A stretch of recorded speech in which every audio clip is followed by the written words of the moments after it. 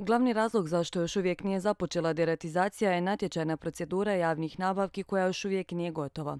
Iz vlade Hercegovačko-Neretvanske županije kažu kako bi proces odabira najpovoljnijeg ponuđača trebao biti okončan do kraja svibnja.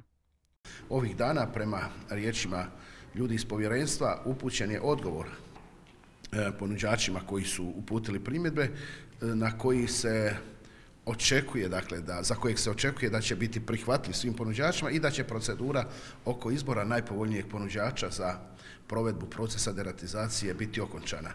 Koliko je stanje loše u gradu na Neretvi govori i činjenica da je posljednja ciljana deratizacija urađena 2008. godine, a sustavna prije više od 10 godina. E, cijelo ovo vrijeme apeliramo na vlast, apelirat ćemo i dalje jer je potrebno da se što prije e, uradi, obavi sustavna deratizacija jer ovo vrijeme nam istječe, proljeće se bliži kraju uskoro, imamo još nekih e, malo više od mjesec dana, a da čekamo do jeseni to je ipak malo duže vrijeme i opet bismo se sustrali s istim problemima.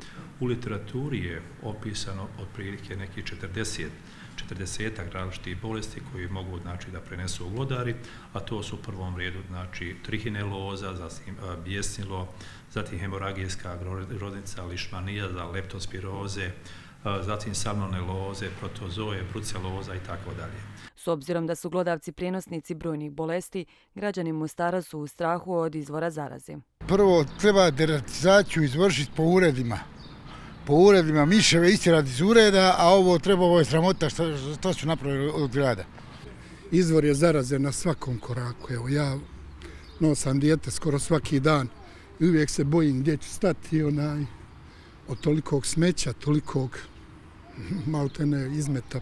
Glodavci također mogu nanijeti i velike ekonomske štete, a prema riječima stručnjaka, jedan štakor na dnevnom svjetlu znači da je u kanalizacijskim cijevima i odvodima skriveno njih na tisuće.